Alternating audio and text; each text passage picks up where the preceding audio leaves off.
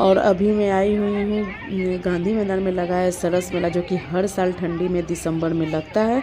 तो वही मैं इंजॉय कर रही हूँ और आप लोगों को थोड़ा बहुत लोग दिखाया। यहाँ पे मैंने डेढ़ लीटर दूध लिया है और इसे एक बर्तन में डालूँगी और थोड़ा सा पानी इसमें डाल के इसे उबलने के लिए मैं गैस पे चढ़ा देने वाली हूँ, जब तक एक उबाल आ जाए। गुड मॉर्निंग एवरीवन कैसे हैं आप सब? आई होप आप सब अच्छे होंगे और मैं भी बहुत ज़्यादा अच्छी हूँ और बहुत कड़ाके की ठंडी पड़ रही है यहाँ पे तो। बहुत ज़्यादा ठंडी हो चुकी है और सर्दी भी मुझे हल्की फुल्की हो गई है। जैसे कि मैंने आज आपको एक थोड़ा सा छोटा सा प्रोसेस दिखाया होगा कि मैं एक मिठाई बनाने जा रही हूँ, कौन सी मिठाई बनाने जा रही हूँ, आप धीरे धीरे आगे आगे देखते जाइएगा। तो मैंने दूध फाड़ लिया था, उसको मैंने छेना को अच्छे से रैप करके रख दिया था। पंद्रह बीस मिनट हो चुके हैं, अब हम उसको निकालेंगे और उसको मैश करेंगे। तो चलिए फटाफट से इस प्रोसेस को करते हैं, क्योंकि थोड़ा इसमें टाइम लगता है। चलिए करते हैं। ये रहा हमारा छेना। तो बहुत अच्छे से फटा है। ये बहुत ड्राई भी नहीं है। इसमें मॉइस्चर रहना चाहिए। इसलिए मैंने ज़्यादा देर तक इसकी, इसको नहीं रखा है या फिर ज़्यादा इसका पानी नहीं निकाला है। बहुत ही अच्छे से फटा है। अब हम बस इसे हथेलियों से मैश करेंगे। ऐसे ऐसे करके।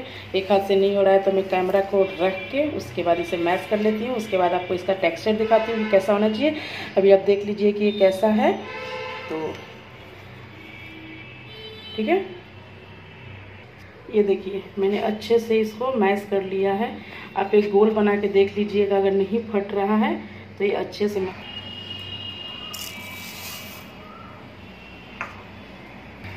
और हमें पानी ज़्यादा नहीं डालना है। हमें पानी बस इतना ही डालना है जितना में चीनी भीग जाए अच्छे से। अभी थोड़ा और जाएगा। थोड़ा सा पानी और जाएगा यहाँ। चीनी पूरा भीग जाए, बस उतना ही। हमें ज़्यादा यहाँ पे पानी अभी नहीं डालना है क्योंकि हमें झाग में अपने रसगुल्ले को पकाना है तो कम चीनी रहेगी, कम पानी रहेगा तो चीनी का झाग आएगा। इसे अच्छे से हाई हाई फ्लेम पे पहले हम लोग चीनी को जो है अच्छे से पिघला लेंगे। यहाँ पे एक मसूर का दाल है, मैं इसे निकाल लूँ। एक यहाँ भी है। और इसे हाई फ्लेम पे चलाते हुए आप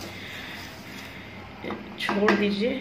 एक चाशनी बनेगा। एक कोई तार की चाशनी नहीं चाहिए, हमें सिंपल हाय एवरीवन मैं डायरेक्ट आपसे शाम को मिल रही हूँ। आज इतना ज़्यादा काम था घर पे, इतना ज़्यादा काम था कि मैंने आपको सुबह में इंट्रो किया कि मैं आपको एक स्वीट की रेसिपी शेयर करने वाली हूँ। मैंने कुछ प्रोसेस शेयर भी किया लेकिन जो मेन प्रोसेस है कि कैसे बनेगा क्या है वो मैं रिकॉर्ड करना ही भूल गई। मैं, मैं मैंने मोबाइल लिया हुआ था इसमें कोई डाउट नहीं है। मैं मोबाइल से रिकॉर्ड करी थी बट रिकॉर्ड का बटन ऑन करना भूल गई थी। और मुझे इतनी अफसोस हो रही है क्योंकि रसगुल्ले इतने ज़्यादा अच्छे बने हैं कि मैं क्या बताऊँ आपको मैं आपको बस एक बार लुक दिखा देती हूँ क्या करूँ क्योंकि रसगुल्ले तो बन गए हैं। बट ठीक है अभी क्या कर सकते हैं? तो एक बार देख लीजिए कैसे बने, बहुत अच्छे बने हुए हैं रसगुल्ले। मैंने ये फ़र्स्ट टाइम ट्राई किया था और ट्रस्ट मी मैं बहुत ज़्यादा डर रही थी कि पता नहीं कैसे बनेंगे, क्या है, कैसा है। बट इतना अच्छा रिज़ल्ट आएगा, मैंने सोचा भी नहीं था और वाकई बहुत अच्छा रिज़ल्ट आया तो मैं आपको दिखाती हूँ एक बार डूब डाल के इसको बॉल में डाल लिया है और चाशनी बहुत ज़्यादा बन गई थी मुझसे।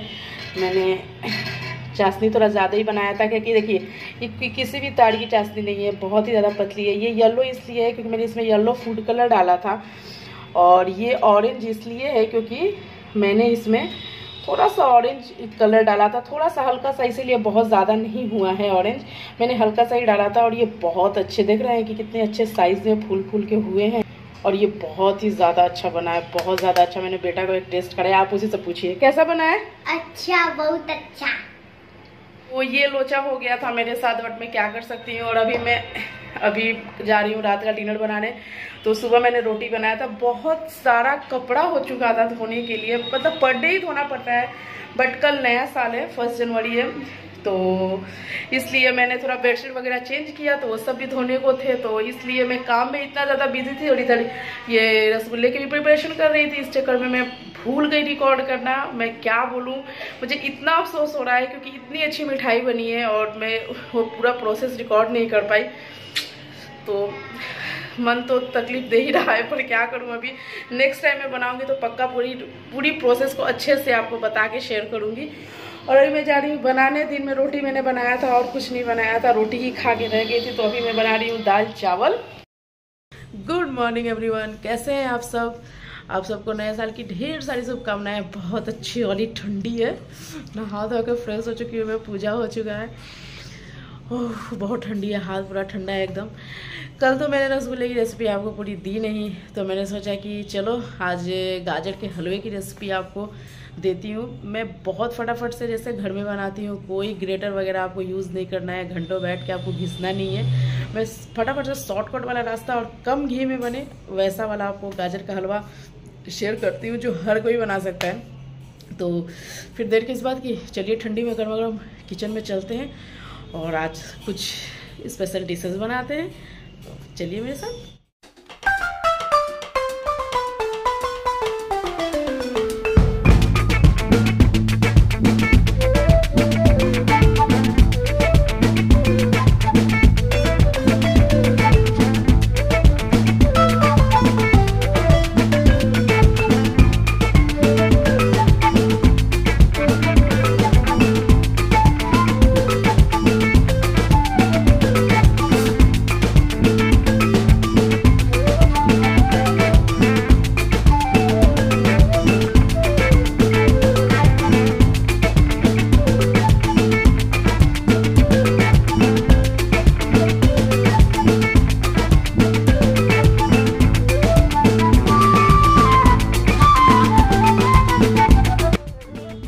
जी तो फाइनली हम लोग गाजर के हलवे की रेसिपी बनाने के लिए तैयार हैं। तो मैंने यहाँ पे एक किलो गाजर लिया है, इसे मैंने छील लिया है ऐसे धो लिया है और इसे छोटे छोटे पीसेस में कट कर लिया है। आपके पास छोटे गाजर हो तो ज़्यादा बेस्ट क्योंकि वो ज़्यादा मीठे होते हैं। और इसमें मैंने थोड़ा सा मतलब 200 ml के करीब चीनी डाला होगा और आधा कप के करीब पानी डाला होगा। आप यहाँ पे दूध भी डाल सकते हैं। मेरे पास अभी दूध नहीं था तो मैंने पानी ही डाला था।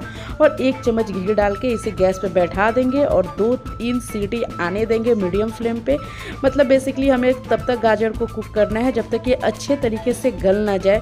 जैसे कि मैं आपको यहाँ पर दिखा रही हूँ कि टच करते ही ये पूरी तरीके से मैश हो जा रहा है। हमें बस इतना ही इसे गलाना है और इसे गलाने के बाद हमें क्या करना है कि एक मैशर लेना है। इसे इसे अच्छे से मैश कर लेना है। मैं तो यहाँ पे देसी तरीका जुगाड़ करके ग्लास से ही मैश कर ले रही हूँ और बहुत अच्छी तरीके से मैश हो चुका है ये। और अब हम क्या करेंगे कि इसे कढ़ाई में डाल देंगे, बिना घी वगैरह कुछ भी डाले, सिंपली इसे कढ़ाई में हम डालेंगे। और उसके बाद ये जितना भी पानी है, जो चीनी और गाजर का पानी है, इसे सुखा लेंगे। जब पूरी तरीके से ये ड्राई हो जाएगा, उसके बाद जो है हम इसमें डालेंगे आपके पास जो भी दूध है, पहले से बॉयल्ड है या कच्चा दूध है, जो भी दूध है, आप उसमें ऐड कर दीजिएगा, क्योंकि इसमें जाने के बाद तो ऑलरेडी पकेगा ही।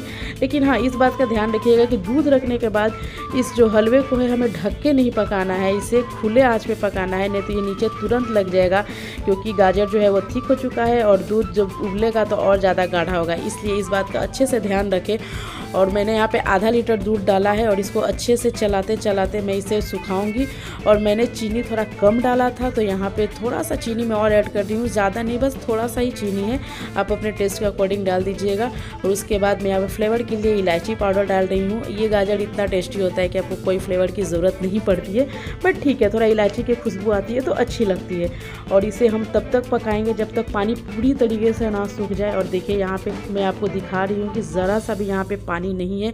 मैंने अच्छी तरीके से इसे भून लिया है और सुखा लिया है। अब इसमें हम लास्ट की कुछ चीज़ें डालेंगे और उस वो लास्ट की चीज़ें क्या है, वो है थोड़ा सा अगर आपके पास ड्राई फ्रूट्स है तो आप वो डाल दीजिए। और लास्ट में बस हम दो चम्मच इसमें घी डालेंगे। जैसा कि मैंने आपको पहले बोला, ये हमेशा आप घर पर बना सकते हैं क्योंकि ये इसमें बहुत सारा घी नहीं है। अब ड्राई फ्रूट टोटली आपके ऊपर अगर ड्राई फ्रूट्स डालना चाहते हैं तो डालिए, वरना मत डालिए। बस ऊपर से घी हम इसलिए डालते हैं क्योंकि हलवे में एक अलग सी चमक आ जाती है कि अलग सी शाइन आ जाती है। बस इसलिए नहीं तो एक चम्मच जो हमने घी डाला था वो भी इनफ है। अगर आप उस और कम घी में बनाना चाहते हैं तो लेकिन अगर ऊपर से आप डाल देंगे तो ये हलवा और भी ज़्यादा टेस्टी हो जाता है। बस हमारा हलवा रेडी है, आप इसे सर्व कीजिए। और मैंने यह खाना निकाल लिया है अपने बच्चे के लिए और हबी के लिए। और खाने में मैंने खीर भी बनाया था जो मैंने आपको नहीं दिखाया था तो आप यहाँ पे प्लेट में देख लीजिए। और ये है मेरे न्यू ईयर की डिशेस। और रात को खाने में मैंने बनाया था पुलाव, जो कि बहुत ही ज़्यादा टेस्टी बना था। होपफुली ये वीडियो आपको अच्छा लगा होगा तो मैं इस वीडियो को यहीं पे बंद करती हूँ और मिलती हूँ नेक्स्ट वीडियो में।